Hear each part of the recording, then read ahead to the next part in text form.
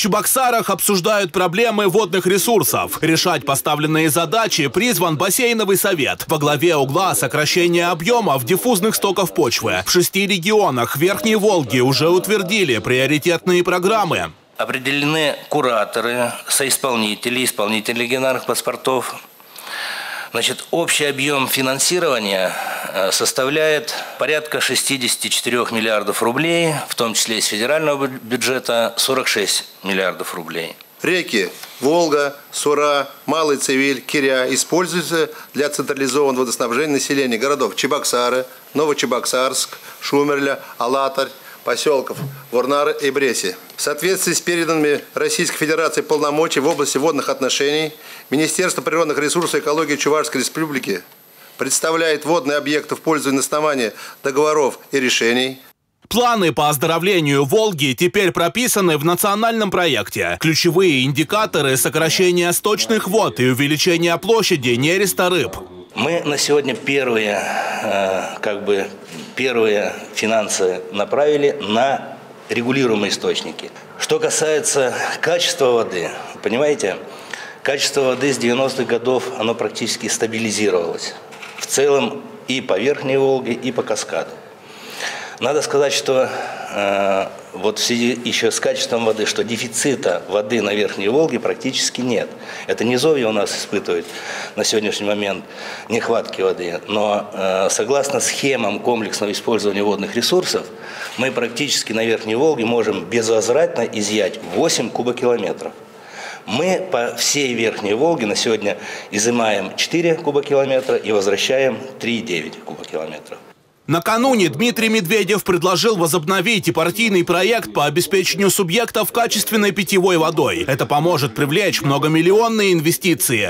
Построили водохранилище, отдельные заработали у нас, отдельные водохранилища построенные, до конца не введены в эксплуатацию – и не проведены водоводы, водопроводы для того, чтобы потребители, селяне, другие потребители предпринимательского сообщества, организации и учреждений социальной сферы не могут получать качественные воды, потому что дефицит денег не позволил нам завершить.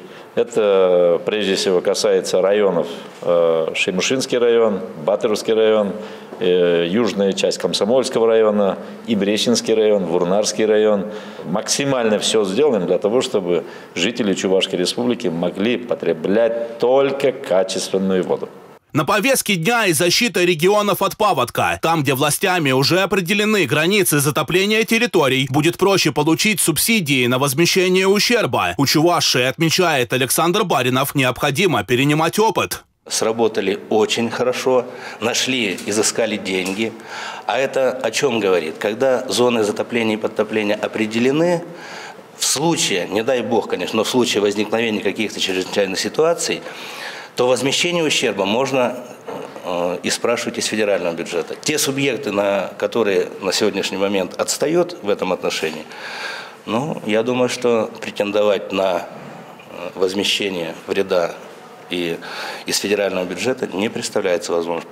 В портфеле лучших практик региона введенные в строй комплексы по обработке осадков и термической сушки сточных вод. Это позволило снизить количество вредных выбросов Волгу в 100 раз. По итогам бассейнового совета намерены обозначить и другие проекты экологической безопасности. Дмитрий Ковалев и Андрей Шоклев. Республика.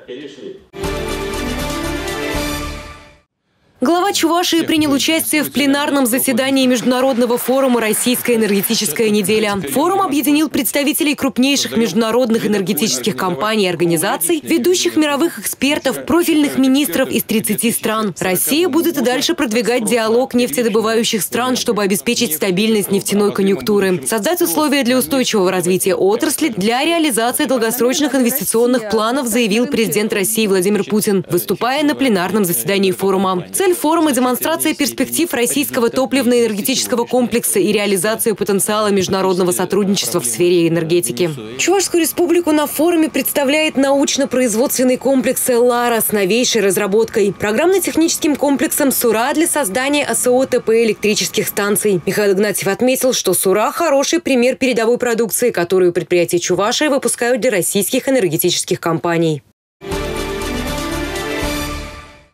В республиканском сборном пункте города Канаша будет проведен капитальный ремонт. Это результат рабочих переговоров главы региона с министром обороны России. Мы должны выполнять государственное плановое задание по э, призыву наших призывников, осенний призыв, весенний призыв. Это будет являться, потому что сдерживающим фактором. Понимание есть, вот это ключевая тема для нас. Недавно Департаментом строительства военного ведомства были выявлены повреждения несущих конструкций здания и аварийное состояние кровли. Сборный пункт был возведен 47 лет назад. Капремонт здесь не проводили никогда. Сегодня я получил соответствующие водные. Они дали соответствующие водные своим исполнителям по тем обращениям, которые от Чувашской республики были. И перспектива у меня уверенность появилась, что за счет инвестиций Министерства обороны Российской Федерации через Управление капитального строительства здание призывного пункта будет отремонтировано. Капитальный ремонт сборного пункта включили в приоритетный план. Дмитрий Ковалев и Александр Петров. Республика. Жидкие порошкообразные вещества в различных канистрах, банках и бутылках. На месте запах химии пластмассовые емкости раскиданы в радиусе нескольких десятков метров. Об этой стихийной свалке на территории одного из сельских поселений Комсомольского района стало известно в конце сентября. Данный факт был выявлен главой администрации данного сельского поселения. Сообщено в правоохранительные органы. В ходе оперативно-розыскных мероприятий полицейские установили, что химические вещества принадлежали одному из образовательных учреждений Республики Мариэл.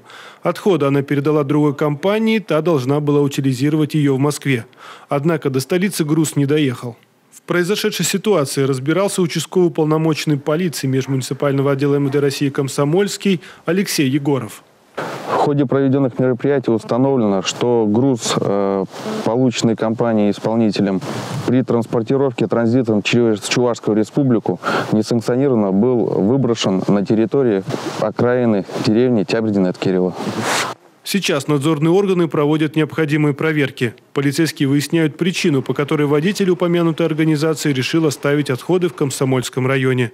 Саму стихийную свалку удалось успешно ликвидировать. Полицейские связались с организацией, в которой работал горе-шофер. Та направила в Комсомольский район уже других людей, которые подошли к работе более ответственно. За короткое время они погрузили все химические вещества и увезли для дальнейшей утилизации.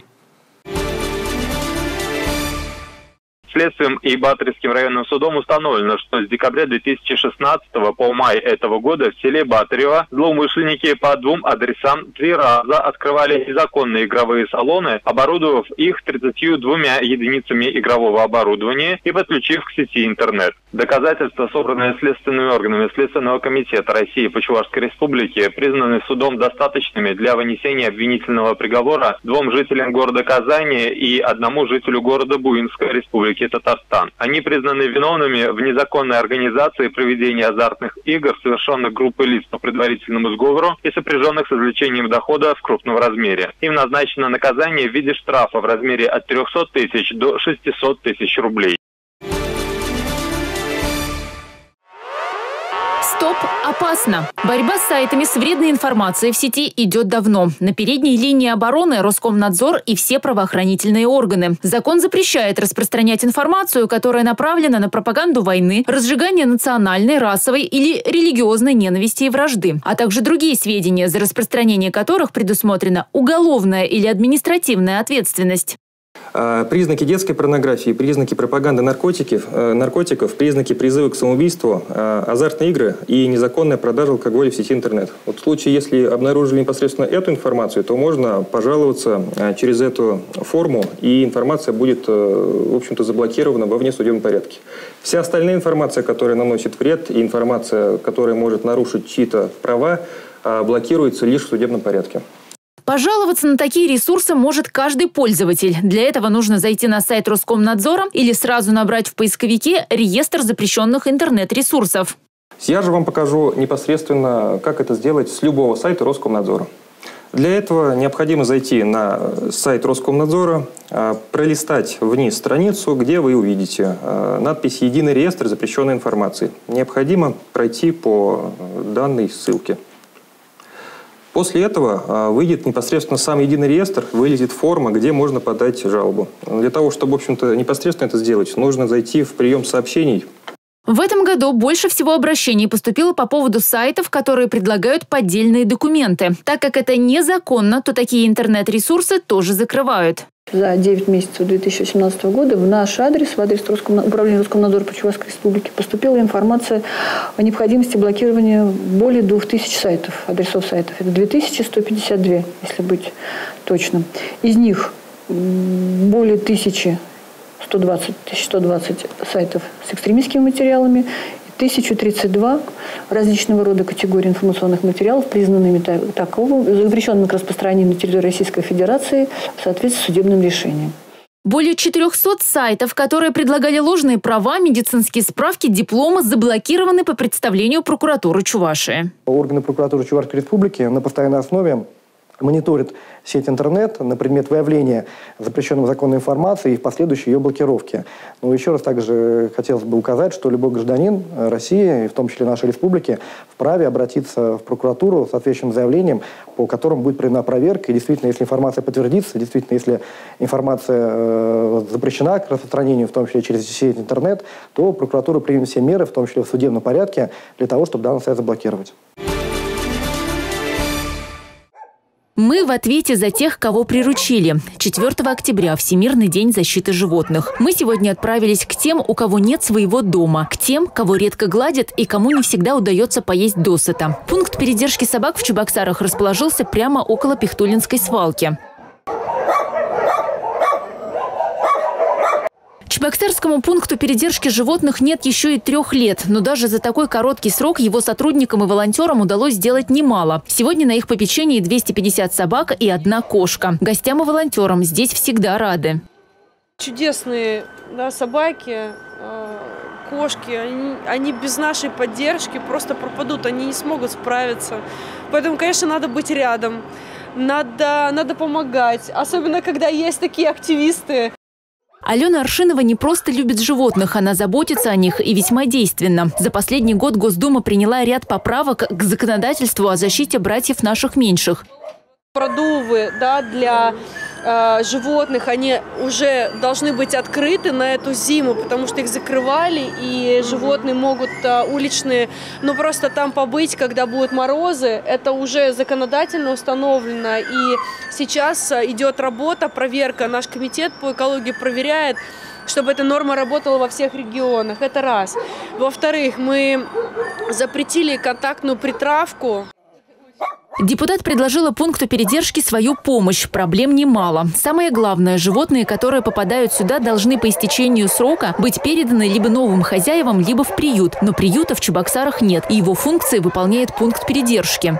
Не хватает места, это первое. Второе, всякие, конечно, ремонтные работы ну, переделка вольеров, например. Что-то мы успели переделать, что-то мы не можем. Нам по финансам не хватает просто переделать вот это все. Сейчас мы на зиму готовимся, будки делаем новые. С начала года мы отловили примерно где-то 390 собак. Мы, когда их привозим в пункт, обрабатываем от блох клещей, то есть от гельминтов, социализируем, прививаем и уже пристраиваем в добрые руки. То есть э, хотим, чтобы все наши питомцы нашли своих хозяев. Татьяна Трофимова, Валерий Резюков, Республика.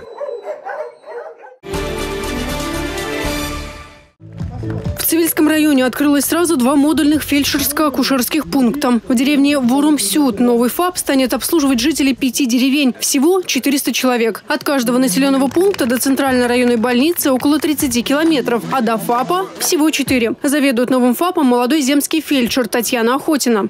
Я сама родом отсюда, у меня родители здесь. А, узнала, что здесь есть э, программа «Земский доктор», и поэтому решила сюда прийти. Здесь очень хорошо, тепло, уютно, светло. Все новое, новое оборудование. В деревне Тинговатово ФАП существовал и раньше, но здание его уже обветшало. Пациентам и медработникам в нем было некомфортно. Удобства там ограничены, поэтому медицинский состав и все сельчане с радостью будут обращаться теперь в новый фельдшерский пункт. Можно и консультации получить, и лечение – и прививки, профилактические мероприятия проводят. А можно и всякие советы получить. Это очень хорошо для сельских жителей, потому что для района, до районной больницы у нас очень далеко. Мы же окраина района. Два новых ФАПа дополнили инфраструктуру обеспечения медицинской помощью шаговой доступности, начиная от домовых хозяйств и фельдшерско-акушерских пунктов до республиканских и федеральных центров высоких технологий. Галина Титарчук, Елена Гальперина, Александр Петров. Республика. Алло, здравствуйте. Я бы хотел обратиться к вам. А, мне нужна такая помощь. Один телефонный звонок и вопрос решен. Проект «Таксофон» запущен для оперативного реагирования на обращения граждан по вопросам медицинского страхования. В учреждениях здравоохранения планируется установить 30 бесплатных стационарных телефонов для того, чтобы пациенты могли обратиться за помощью к страховому представителю. В поликлиниках стало очень удобно. В плане того, что когда нет специалиста, а, можно обратиться по этому справочнику то есть по прямой связи, вот, а, обратиться к специалисту страховой компании вот, и задать вопрос, нужен мне. Они ответят э, на мой вопрос и подскажут, куда надо обратиться. С лета 2017 года в больницах по два часа в день дежурят представители страховых компаний. Необоснованное взимание платы, отказ в оказании медпомощи. Страховщики совместно с администрацией медорганизации решают проблемы, что называется, не отходя от кассы. К нам наши э, застрахованные э, граждане и пациенты обращаются в основном по таким вопросам, как э, прохождение диспансеризации профилактического медицинского осмотра, о праве выбора страховой медицинской организации, также о порядке получения полиса и дубликата полиса, о том, о правомерности приобретения лекарств за личные, за личные средства. То есть, да, и, в принципе, мы как бы защищаем права застрахованных по обязательному медицинскому страхованию. Примерно 200-300 обращений в месяц. Так выглядит работа страхового представителя второго уровня в цифрах. Страховой представитель второго уровня информирует граждан, стоящих на диспансерном наблюдении, о необходимости явки к своему врачу. Уже с начала года проинформировано более 30 тысяч таких граждан. И более 200 тысяч граждан прошло диспансеризацию и медосмотр. Юлия Важенина, Бахтияр Велиев, Республика. Автор детективных романов, сценарист, переводчица и телеведущая Татьяна Устинова встретилась с чебоксарскими поклонниками своего творчества. В молодежном центре «Маяк», который находится на базе Центральной библиотеки имени Маяковского в онлайн-режиме, писательница рассказала о своей жизни и карьере. Встреча прошла в рамках всероссийского проекта «Литмост», к которому присоединились и наши библиотеки. Профессиональную деятельность Татьяна Устинова начала в ВГТРК, переводила англоязычные программы. Кроме работы на телевидении, Татьяна трудилась в пресс-центре российского президента Бориса Ельцина Ельцина. Говорят, что в жизни надо попробовать все. Есть ли вещи, которые вы никогда не попробуете? Я никогда не стану валютной проституткой. А, я никогда не пойду а, в подворотню а, для того, чтобы треснуть кирпичом по голове задержавшегося там прохожего и посмотреть, что из этого будет. Никогда. Я никогда не а, поменяю, допустим, место жительства, да, то есть а, я не, могу сказать, что я настолько смелый человек, что я послезавтра, как многие из соотечественников, уеду в Израиль или в Америку, Произведения Устиновой печатаются миллионами экземпляров. По ее романам снято уже немало фильмов, а все началось с книги «Персональный ангел», которую она написала в 1999 году. Роман сразу же разошелся большим тиражом. Затем в печать отправились книги «Хроника гнусных времен», «Пороки их поклонники», «Развод и девичья фамилия», как следствие долгосрочный контракт с издательством «Эксмо».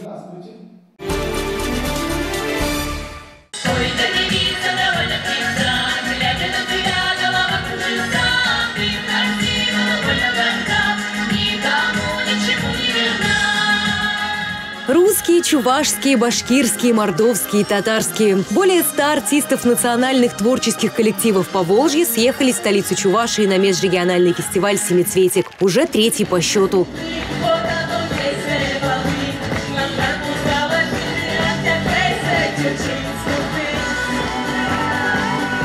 Эта песня была про любовь, э, где девушка забыла про своего парня, которого очень-очень сильно любила.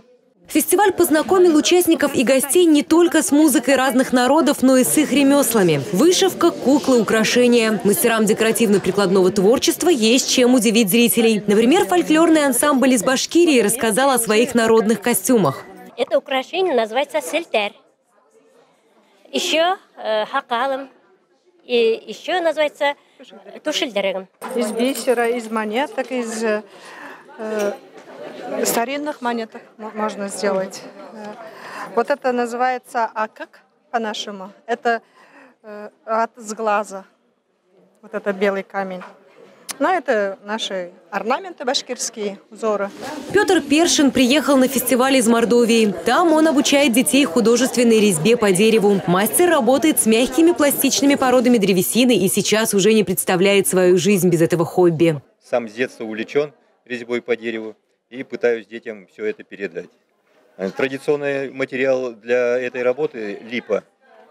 Э, как уже подмечено, что из липы делалось все. И лапти из липы, и вырезание, всякая домашняя утварь, допустим, вот такие традиционные солонки.